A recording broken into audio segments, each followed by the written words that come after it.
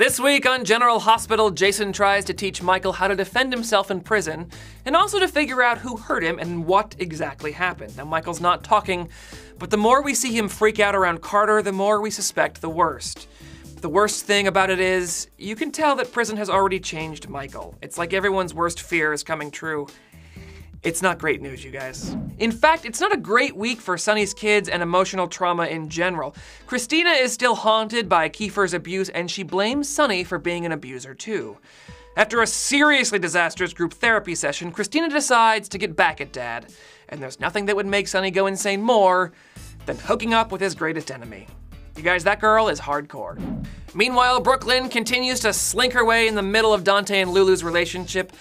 Maxie tries to warn Lulu, but by the end of the week, Brook uses her old neighborhood connections to make Lulu feel like a fifth wheel.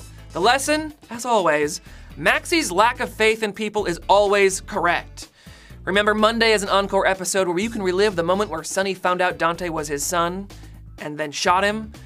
Possibly not in that order.